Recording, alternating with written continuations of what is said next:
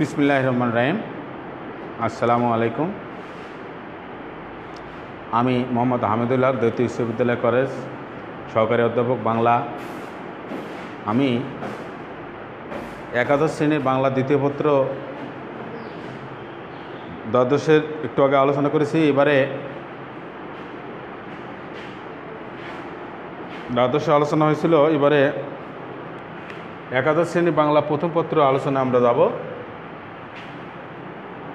আমরা গত দিনে বাংলা সাহিত্য পাঠ আলোচনা করছিলাম। সাহিত্যের সংজ্ঞাগুলো আলোচনা করা শুরু করছিলাম। তো প্রথমত সাহিত্যের যে বিষয়টা আলোচনা করেছিলাম, এক নম্বরে আলোচনা করছিলাম ছোট গল্প। দুই নম্বরে আলোচনা করেছিলাম কবিতা। তিন নম্বর আলোচনা শুরু করছিলাম, নাটক। বাংলা সাহিত্যের শ্রেণীবিভাগ বা শাখাগুলো, প্রথমে হচ্ছে ছোট গল্প, দুই নম্বর হচ্ছে কবিতা, তিন নম্বর হচ্ছে নাটক, চার নম্বর আছে প্রবন্ধ, তারপর আছে সর্বশেষ আছে উপন্যাস।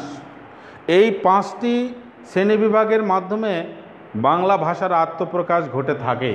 অর্থাৎ লেখকরা, আমরা শুরুতে বলছি যে লেখকের নিজের কথা, পরের কথা, বাহ্য জগতের কথা, যখন সুরের মনোবিনয় বা ভাষার মাধ্যমে আত্মপ্রকাশ করার চেষ্টা করেন, সেটি হয়ে যায় সাহিত্য।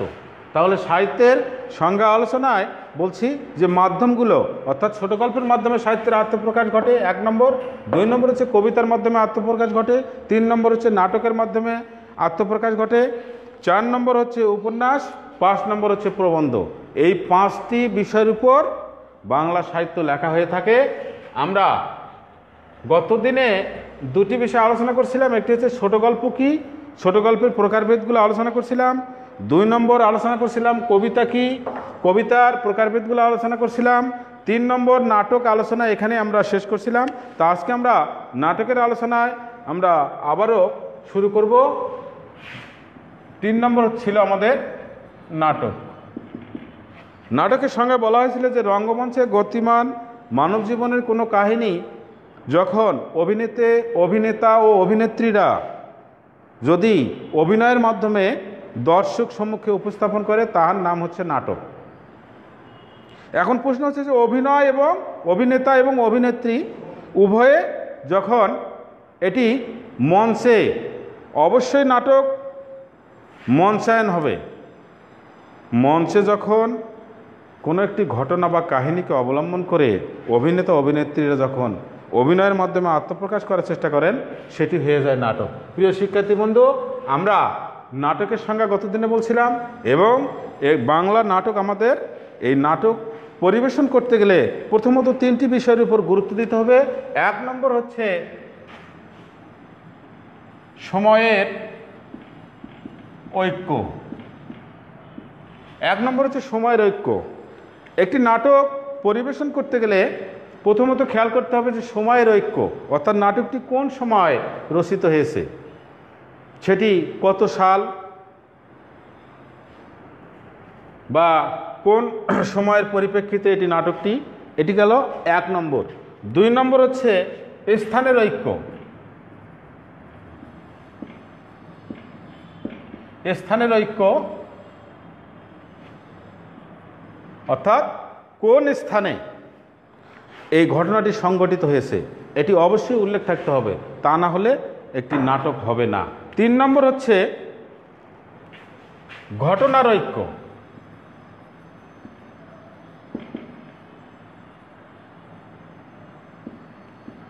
তিন নম্বর হচ্ছে ঘটনার ঐক্য। তাহলে ঘটনাটি কি ঘটনা?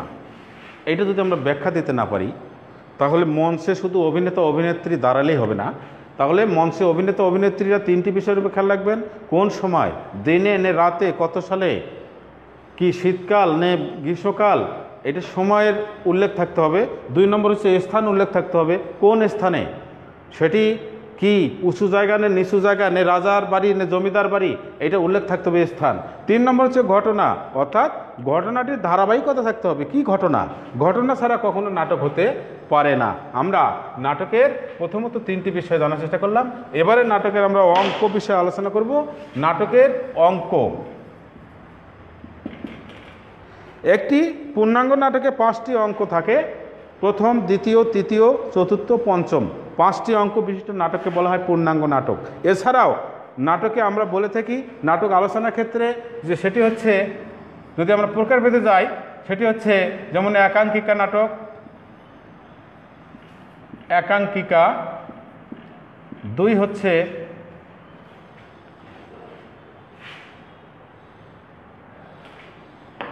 নাটিকা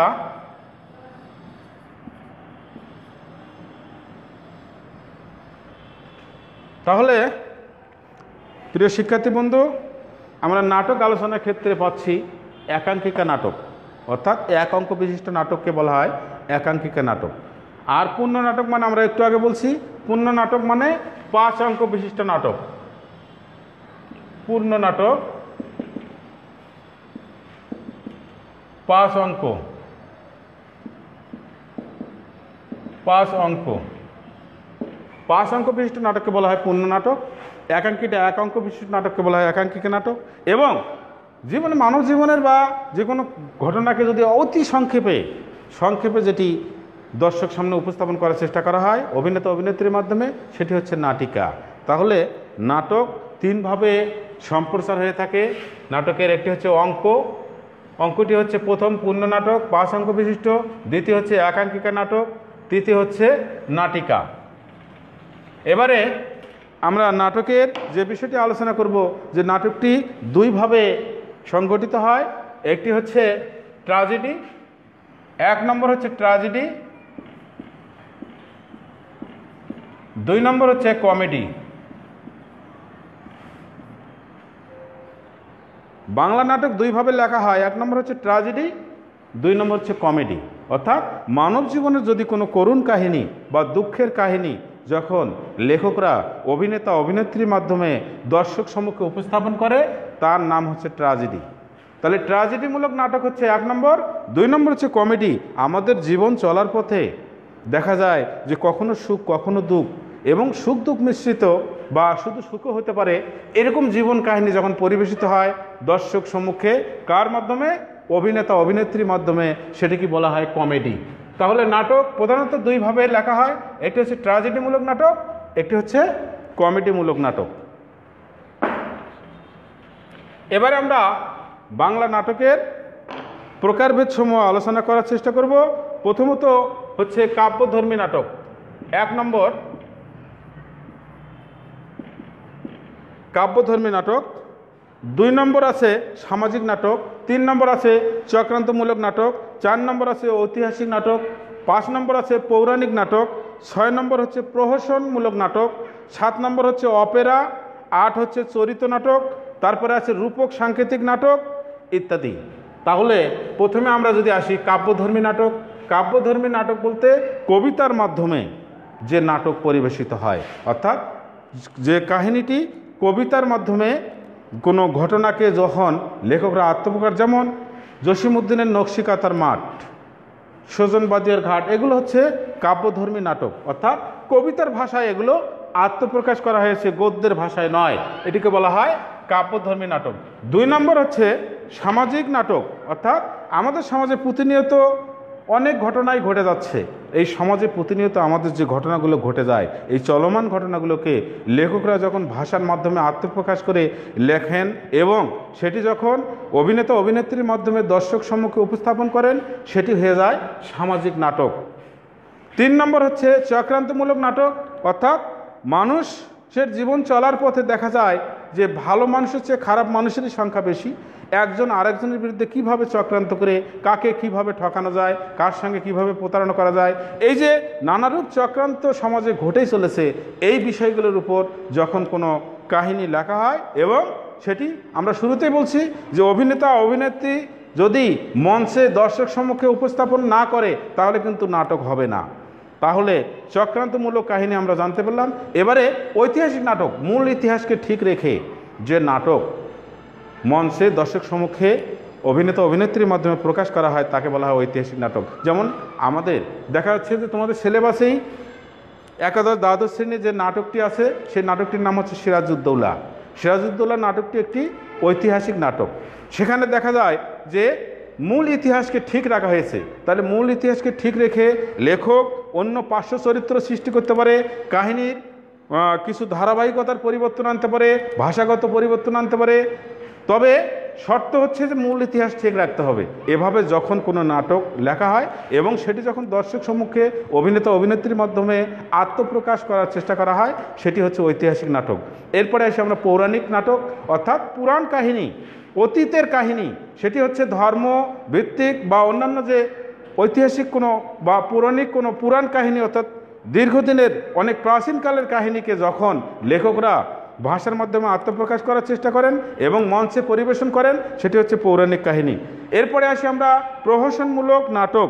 প্রিয় শিক্ষার্থী বন্ধু, আমরা যেহেতু সংক্ষেপে আলোচনা করছি, যেহেতু এই আলোচনার পরেই এই নাটকের শ্রেণীবিভাগ আলোচনা হবে, এরপরে প্রবন্ধ বিষয়ে আলোচনা হবে এবং এরপরে উপন্যাস আছে, আরও তিনটি দুটি বিষয় এখনও রয়ে গেছে।